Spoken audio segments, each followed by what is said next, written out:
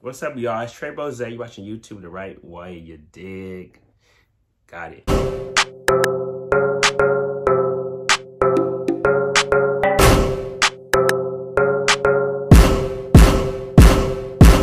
Today we're gonna figure out how you guys gonna start your own clothing brand. So before we gonna start into this, go down, hit the like button, comment, and also in the description, go to Betray the Hype LA, cop a t-shirt, cop a hoodie. So we're gonna go right into it, guys. So if you want to start your own brand, do sole proprietorship, which is 100% yourself, or you can do co-ownership, which is more than one person. So two people or more. So with sole proprietorship is 100% on you. So when you have to go get the products, uh, you have to go make the products, go shipping, uh, buy material, ads, marketing, making a website.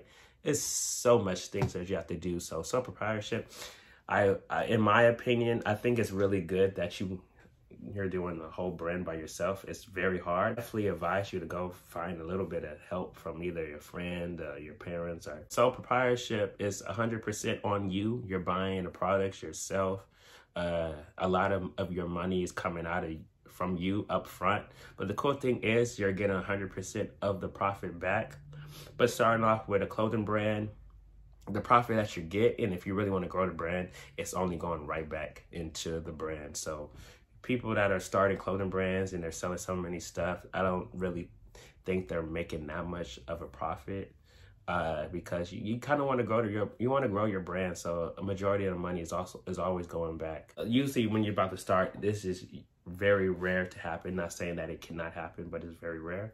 So sole proprietorship is really great. Your DBA license, or you go get your um, for your company, brand your company uh, then after that, you got to get your EIN license, which is kind of basically like a social security uh, number, but it's for your own business. So um, you you have that number so you can actually get stuff for a cheaper price. You can go get it for wholesale. Since we live in LA, you get that license. You're able to go to certain stores. That's 10 times cheaper than on the internet. You get items, uh, products that's so much more cheaper and then resell it for higher prices. There's two, there's wholesale and there's resale. I think to do a clothing brand, you have to get the wholesale. Yeah, just re retraining way off a topic. It is a great time right now. Go down, hit that like button, help me help out my page for analytics to get somebody else that's trying to figure out how to start a, a clothing brand. They can see my videos. And also go down to the in the description, check out Betray the Hype LA. You did. Don't forget to subscribe, run it up. You did. We talked about uh, sole proprietorship now with uh, co-ownership It's two or more people it's better. There's less money up front. You can divide. You can divide how much money you have to get out of pocket. Because uh, when you start a brand, there's a there's a really a lot of expenses that come through with branding that a lot of people do not talk about. So there's products that you're selling. There's website. There's ads. There's marketing, um, taxes. All these things. It, it all comes up, come back to bite you, and you don't really see it until it start coming out. And shipping too as well. Shipping is very expensive guys.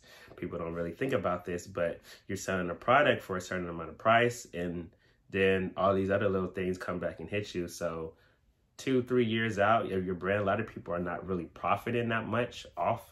Like you're getting gains but you're not really profiting off that much because you have to also you have to also think that there's so much expenses in making a clothing brand and you have to reinvest your money right back so just something to be aware, guys. But uh, co-ownership is really great, guys. So by doing that, they can help with the products. They help with making it.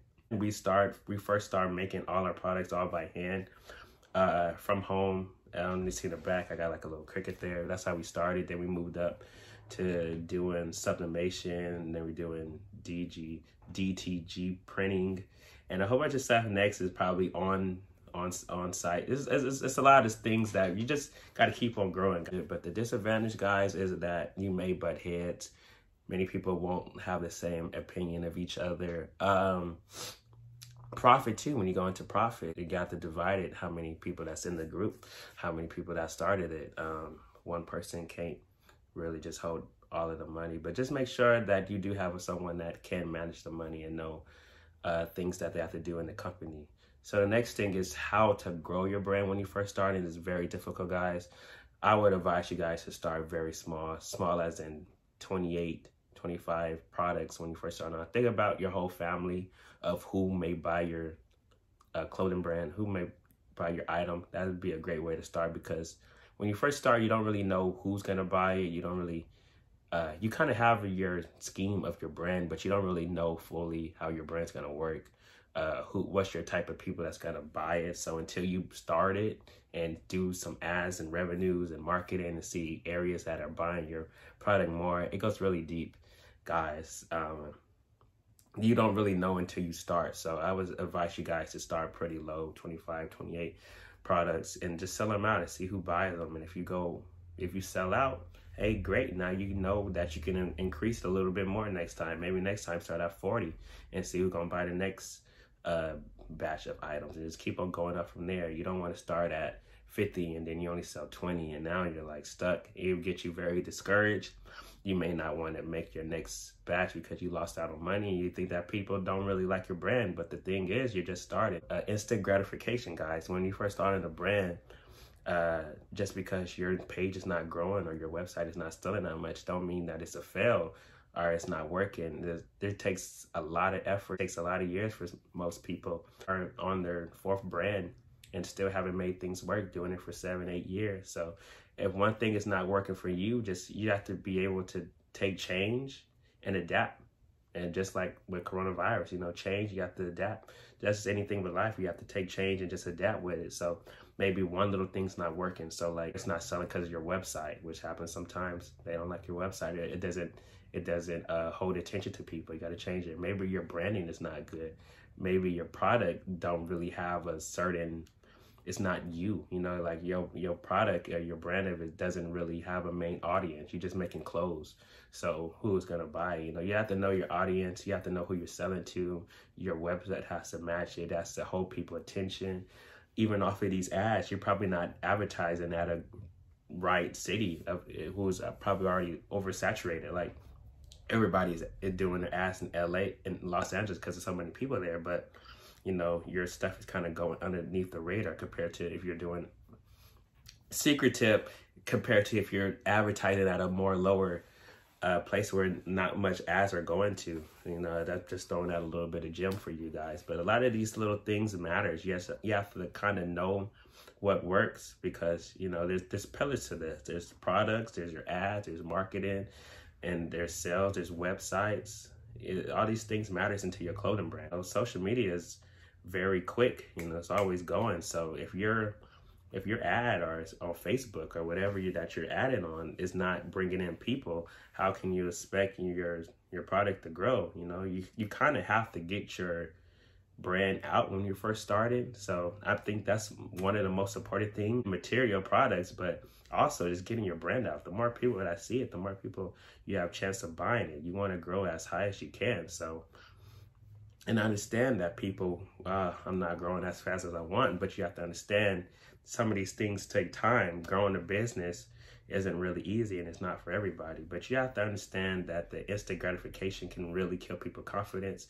You just have to be consistent and also really love what you're doing, guys, because I kid you not, starting with even um, our brand, we take a lot of hours into doing this. It, it takes a lot of hours. And someone that even working full time, yet you have to find the time to go and beyond above and to, to keep on making your idols because you may be tired, you may not spending time with loved ones, but you when you have your goal and you said you got to keep on being consistent with it. And that's just a hard thing to do, being consistent and just understanding that it, these things take time. A lot of people are not consistent or they don't want to put in the hours to make clothes or anything like this, your own business. But you know, it takes time and you have to put time into your business, guys you know, you're thinking about starting a brand or a business or anything or clothing, just be willing to put time into it, guys, because it takes a lot of time. And don't be afraid to do or try new things because there's there's so much so much things that you can do out there. It's no one way to do something. It's never. So just be open to new things, you know.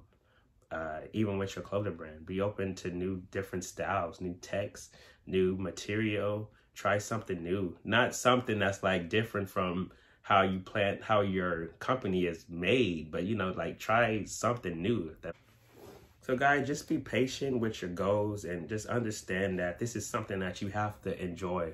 It's going to be hard in the beginning, but when you really enjoy something and you love it, that it's not going to feel like work and just keep on growing. Keep on growing, be consistent, and understand what you're trying to do, guys. It's Trey Rose. You watching YouTube the right way. You dig. Thanks. Like, comment, do what you got to do. Let's run it up. Let's get it.